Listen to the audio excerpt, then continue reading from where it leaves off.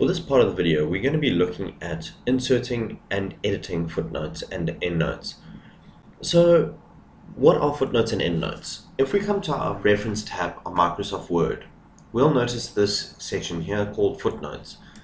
So if we move up to here, add a note at the bottom of the page providing more information about something in your document, and an endnote, add a note like a comment or citation providing more information about something in your document. It is subscript numbers referring to the ends, um, referring to end notes are added to your text. So generally a footnote is found at the end of a page and an end note is generally found at the end of a document. So for example, if you wanted to create a little bit more information about or provide more information, should I say, about the following activities, which we could do here for bungee jumping, we will come up to here, click insert footnote, and you'll notice if we look at bungee jumping, there's a little one over here. At the end of the document, it shows number one down there. So if we go, this is jumping off a bridge.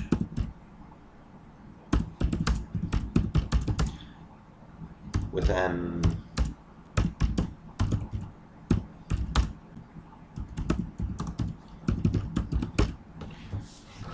This is jumping off a bridge with an elastic cord attached, just so that you can define what bungee jumping is for somebody who's never heard of it.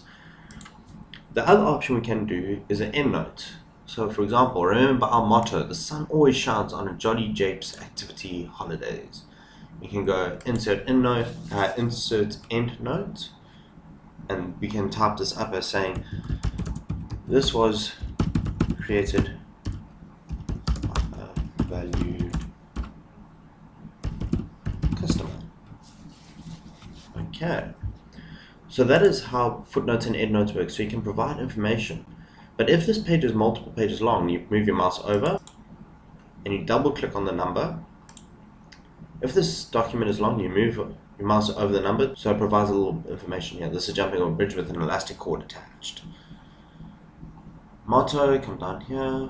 This was created by a valued customer. Obviously it doesn't give you the full information. If we double click on it, it takes us right to the end. If we want to edit the notes. We can just come down here and type it. Okay, so that is how you edit and add footnotes to a document.